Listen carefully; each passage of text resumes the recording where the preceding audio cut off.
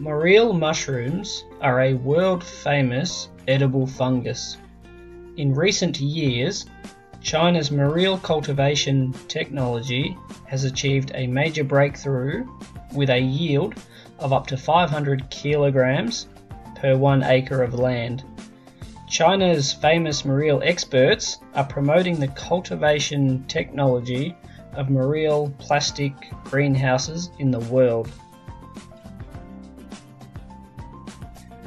There are various ways of cooperation.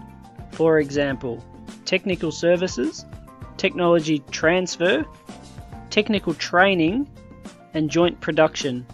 We welcome friends from all over the world to come to China to visit our greenhouse base of the Morel production.